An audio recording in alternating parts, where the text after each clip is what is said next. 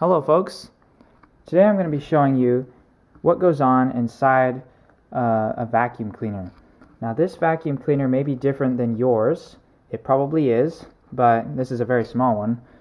But the same principles apply between small vacuums like this, big vacuums, even shop vacs have the same kind of motors and, and impeller setup that this one does. Now this it does not have brushes. It just has a suction hole and a little squeaky thing. So it's a simple, very simple setup. So we're going to be taking this thing apart. Now you may notice there's some rather unconventional looking holes on either side. And those are actually modifications I made to this to make it get better airflow. Because yeah, uh, it there were tiny little slits before, and now it breathes better and it has more sucking power. To do this, you're going to need a number of tools, although the main tool you'll need is probably just a Phillips head screwdriver, and that'll be to take out the majority of the bolts. So let's start off by removing this part here. You just push this button here and remove this. This is just the actual container that holds the junk. This is the filter, and here is your sucking head, your actual part that sits on the ground and has this channel that gets uh, deeper until it gets to this point. And that's to help with the suction so that we can get suction even all the way over here. But obviously it would be the strongest in the middle. So that's that part, but we're not going to be looking at that part. That's not the interesting bit. The interesting bit is in here. So there'll be another little foam filter on here. That's more of a dust collector. If Once you take that off, you'll see this grill, and inside here is your actual motor. And so you can see on the back side there'll be a number of holes with screws in them. So that's what we're going to be pulling those out right now with just a standard Phillips head screwdriver.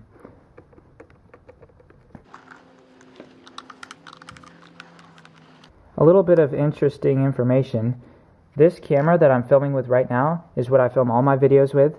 It's a Canon PowerShot and it's I think from around, I got it in 2013, so it's probably maybe a 2013, 2011, 12 uh, model.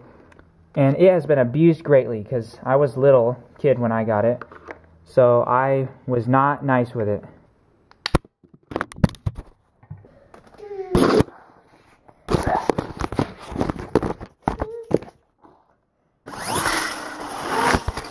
And so it's I still use it to film videos actually YouTube videos now on a more professional level, and it still works. Although I definitely could use to get an upgrade because this camera just doesn't film very high quality videos. Alright, so once you've undone all the screws, you can dump them out. Alright, so then this piece here, this also has some screws in it, so you need to take those off as well.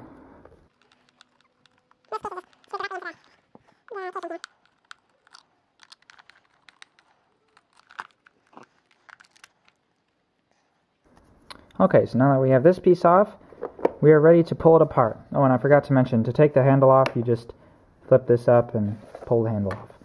So, every screw has been taken out, so now we can just pull it apart. And sometimes there'll be a little clip in here that'll keep it together, so you have to pry at it and pull it, and that's where like a, a flathead screwdriver would come in handy to pry it apart a little bit. But other than that, it should be really simple to take apart at this point. So once you pull this off, this is the interesting bit in here. Oh, and make sure you unplug it before you take stuff off because this, if it's not unplugged, you'll have live power going to this switch here and, and you could definitely get electrocuted. I've got electrocuted before. It's no fun. House power is not to be messed with. So be careful in that respect. But anyways, here is the motor. This is a DC brush motor, and it probably is around, this one's, um, if I had to guess, I'd say it's around 1 to 2 horsepower. It, they spin really fast, like around 30,000 RPM, maybe more. That was just my rough calculation. You can actually calculate. If you watch my video on how to calculate horsepower, I'll put a little link to that video, probably over here maybe. But anyways, that goes into depth on how to calculate. RPM and stuff. But the point is, is that this thing spins fast. And you can actually pull it out. All these wires will come out as well. And once you have it out, you can see this is the intake. So there's an impeller in there. And this is the intake. And then the exhaust, it blows back out here. And these little fins redirect the air in as it's coming out radially to this motor to help cool it. Because, yeah, it's it generates a lot of heat. You can get this cover off. It's a little harder, though. All these little flanges that are bent in on all four corners, you'd have to unbend those with, like, a flathead screwdriver or something. So, um, so why the air? You sometimes when you feel here, the air is hot, and that's because it's been moving past the motor and getting hot. Yes, that's correct. The exhaust air is for two things. It's just to get it out of there so it can suck more air in, and it's also to cool the motor because the motor is generating heat. So as the air flows past it, it has to flow right past all these coils and the the stators and the actual spinning component and that creates and that sucks the heat away from the motor and blows it out. So yeah, if you run a vacuum for a while and you feel the exhaust air, it'll actually be warm. That's just from the motor heating it. I'm gonna see if I can get something to take this off just to show you because it's really cool and I might even turn it on with the cover off because it's it's really cool. Like it's a really interesting thing to see. So. All right, well that actually wasn't very hard. I just pry it up with a little flathead, got in here and pried those up and then pried it on off. And it does look cool. So here's the impeller. So you can see this is where it sucks in air and then the spinning motion flings out the air molecules out the sides.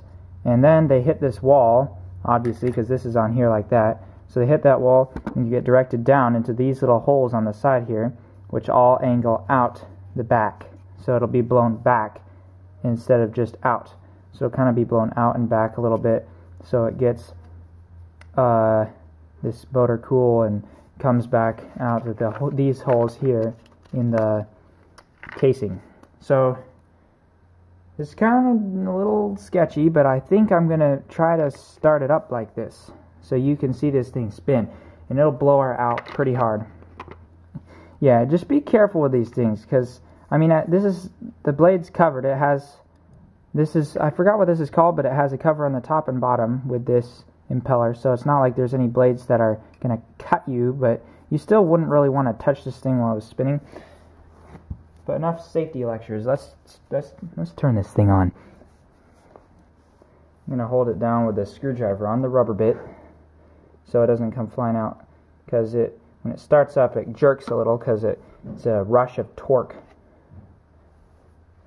but here goes.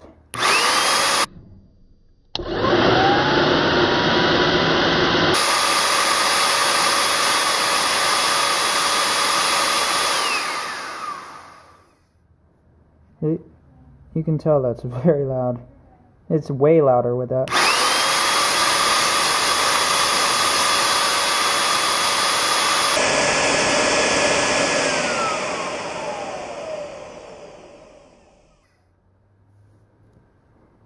So yeah, interesting.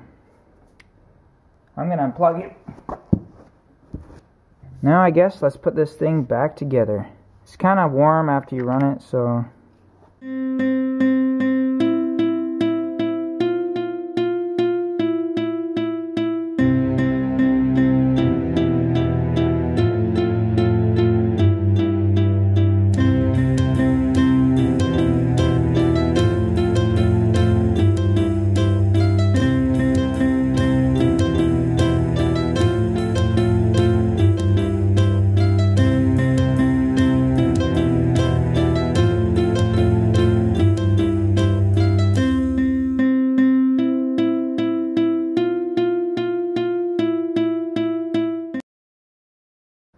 I'll turn it on once again.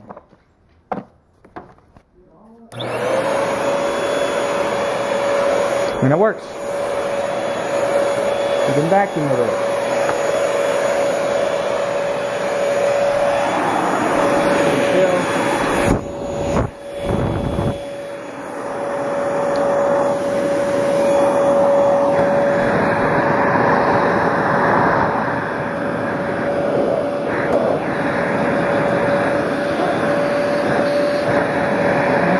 Of.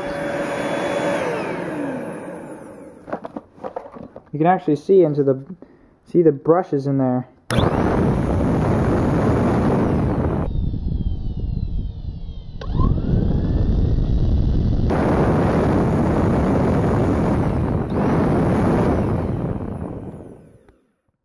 That is how a vacuum cleaner works. In this little modification, I just did it with a pocket knife. I just cut out those fins to make it give it better airflow. You don't I wouldn't recommend doing that, but I would say that if you want to, go ahead. I mean, it increases airflow, so it definitely doesn't hurt the operation at all, makes it better. So anyways, thank you for watching. I hope you learned a little bit. There's a good chance that the majority of my audience already knows about the basics of how a vacuum cleaner works. But if you didn't, I hope you were able to learn something. Thank you for watching. I sure hope you enjoyed this video.